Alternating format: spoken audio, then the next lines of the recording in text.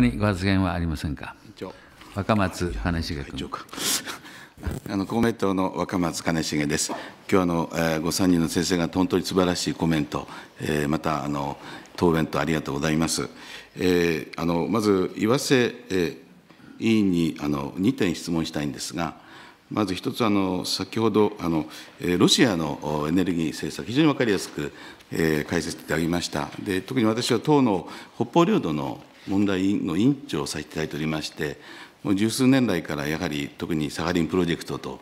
まあ、非常にこう日本との関わり、でかつ、これは先生の論文ですか、北からふと石油と外交交渉と、まあ、ちょっとこういうあの絡みの中から質問を思いついたんですけど、あのいわゆる日本のこの、まあ、北方領土と絡めたエネルギー政策です、特に対ロシアですね、えー、先生、何かご意見っていうんですか、こういうところをもっとあの突っ込んだ方がいいんじゃないかとかで、こうやったらもっと領土問題も含めてですね、うまく回っていくんじゃないかと、そういうもしあのお考えがあればあの、教えていただきたいということが1点です。で2つ目は、えー、先ほどのこのアメリカの、えー、国内エネルギーも非常に分かりやすくあのご説明いただきました。で私のあの関心は、やはりあのどうしても地球温暖化というか、二酸化炭素、えー、もう問題なんですけれども、えー、特にあの今 COP26 とかこれからやってますけどやっぱりの排出大国っていうんですか？私は排出大国 G7 と言いたいんですけどやっぱそういった時にはもっと途上国もあるわけです中国も含めて。やっぱそこにしっかりとこの、えー、まず同じテーブルにつからないとまましてや、えー、あの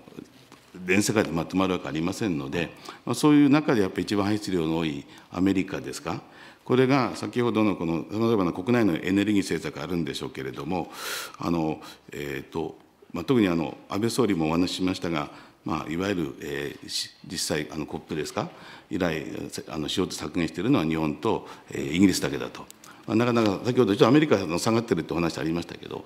このやっぱアメリカのこの本来のこの温暖化の観点からのエネルギー政策っていうのもやはり日本としては関心を持ってやっぱり言うべきこと言っていかなきゃいけないんじゃないかとそういう観点から先生どんなお考えをお持ちかお願いします岩瀬参考人。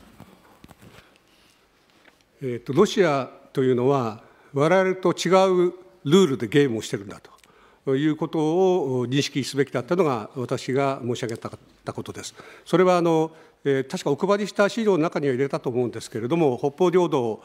じゃなくて、ごめんなさい、えっと、北樺太石油の交渉時に、彼らがどういう交渉をしたかということですね、一つは。それからもう一つは、えー、サハリン2ってこれ三井物産関与してたプロジェクトなんですけれどもサハリン2の権益をまあ、こういう表現正しいかどうか取り上げられちゃったと。そうです、ね、母価で取り上げられたということ。これは、えー、やはり彼らが我々と同じルールでゲームをしてないんだということを認識してかからなきゃいけないそういう教訓なんではないかなと思っています。したがって北方領土についてはロシアは大義では動かない。何か実利がない限り僕は動かないと思ってますので何か実利があるようなことができるのかどうかということを研究すべきではないかなと思います。それからアメリカのその排出権、えっと、ごめんなさい、CO2 排出量の問題については、この先ほど申し上げましたけれども、中国、アメリカ、インド、その3か国でほとんど半分、うん、50%ぐらいを排出している排出大国でございますので、えー、やはりアメリカにはパリ協定へのカムバックというのをね、働くべき働きかけるべきだろうと思います。まあ、実際問題として地方政府なり民間企業が自分たちの判断で自分たちのできるところで排出量削減の努力を続けております。例えば石油ガス会社の場合にはえー、CO2 ではないんですけれど CO2 よりも気候温暖化に悪影響があるのはメタンだと言われてるんですけどメタンがその生産現場あるいはパイプラインからの漏洩でそれが、えー、地球温暖化に悪影響を与えているっていうのがまあこれも科学的に立証されていることなんですけれどそれに対して石油会社はメタンを集めてそれで、えー、マネタイズができるわけですよね。もちろん今ガス価格がどうしようもないような値段なってるんであれなんですけれどもでも石油ガス会社としてはその地球温暖化問題へ自分たちが取り組むその一つのできることとして、メタンガスの漏洩を生産現場、あるいは輸送現場から少なくしようという努力はしてます。でもやっぱり政府連あの連邦政府としてパリ協定に戻るという決断をしていただくことがおそらくアメリカ全体の動きをも後押しすることになると思いますのでそれは僕はぜひ働きかけていただきたいなと思います。若松兼重君。会長会長ありがとうございます。それであのあの畑中委員と田中委員にあのお聞きしたいんですが、えー、ちょうど、まあ、いわゆる、えー、安倍政権になりました第2次ですね、まあ、7年ぐらいですか、目ということですけど、えー、この間のいわゆるエネルギー特会、もう国先ほどの国際情勢をにらみながらですね、おそらく日本のエネルギー政策、いろいろとお考えがあろうと思うんですけれども、えー、評価ですか、この安倍政権におけるエネルギー特会の活用、特に最近ではやはり、えー、あの二酸化炭素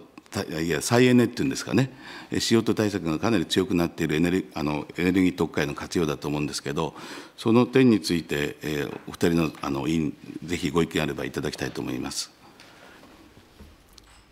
畑中参考人、はい、ありがとうございます。あのそうですね、まあ、私自身はもう少し実はエネルギー特会、えー、再生エネルギーに対する支援は増やしてもいいのかなというのがあの個人的に考えているところでございます。もちろんその日本、まあ、今現在だと石油が大体40%ぐらい一次エネルギーに占める比率でございますけれども、まあ、それ以上なかなか下げるのは難しいとは思うんですけれどもまだ少し余地はあるかなという感じがしますので、えー、まあ可能なところまでもう少しその再生可能エネルギーをこのまあ会計の中でも予算上つけるということがあってもいいというふうに思っております。田中参考人。はいあのエネルギー特会のことに関しては私は特段意見は持っていないんですがむしろそのエネルギー基本計画を、えー、何度か作り直してますが、まあ、その中で、まあ、どうしてもその石炭をどう置くかそれから原子力をどう置くかというところが、まあ、ある種堂々巡りの議論をずっと続けてきているなというあの印象はあります。もちろん現実を見据えたときにそれに代わるものがなかなかこう、えー、打ち上げられないと打ち立てられないということの、まあ、ジレンマがあるんだと思うんですが、えー、ややその中長期的に、え、先を見据えた時の計画としてどのようにですね例えば2050年度のあ2050年の二酸化炭素排出を見据えた時とかにこれが整合性を持って実態として現れるのかというところはちょっと私はずれているように思いますのでもう少し大胆でもいいのかなと思っています。ありがとうございます。以上で終わります。他にご発言はありませんか？